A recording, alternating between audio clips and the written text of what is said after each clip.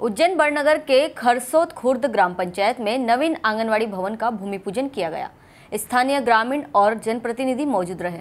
उज्जैन बड़नगर के खरसोत खुर्द ग्राम पंचायत क्षेत्र में निवास करने वाले छोटे छोटे बच्चे और बच्चियों को आंगनवाड़ी भवन के माध्यम से राज्य सरकार की सुविधाओं का लाभ मिल सके, उसी को लेकर नवीन आंगनवाड़ी भवन का भूमि पूजन किया गया, जहाँ पर स्थानीय ग्रामीण जन बड़ी संख्या में मौजूद थे।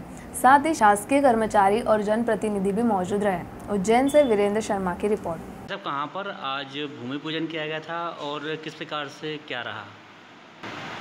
आज राज्य शासन द्वारा पूर्व स्वीकृत आंगनवाड़ी भवन का जो आज हमने ग्राम पंचायत की पूरी समिति हमारे सरपंच साहब और सभी गाँव के गणमान्य नागरिकों द्वारा आज और हमारे प्रशासक महोदय द्वारा आज भूमि पूजन किया गया।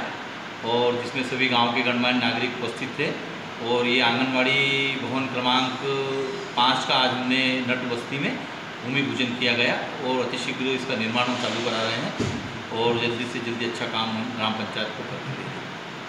मुहल्ले में आंगनबाड़ी बनाने के लिए ग्रामीणों की समस्या थी, उन्होंने बोला कि हमारे इधर आंगनबाड़ी बना दो। इसलिए नट मोहल्ले में वार्ड नंबर पाँच में आंगनबाड़ी बनाई है और उसका भूमि पूजन किया। उसमें इंद्रपाल सिंह पंड्या भी आए थे। और हमारे मंत्री साहब थे।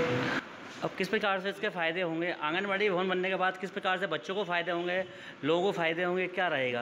भाई आंगनबाड़ी में बच्चे आएँगे तो पढ़ेंगे तो कम से कम उनको शुरू से ही वो रहेगा अपने स्कूल में जाए इसलिए वो आंगनबाड़ी में पहले बिठाते हैं जिसके बाद में वो स्कूल में शिफ्ट होते हैं।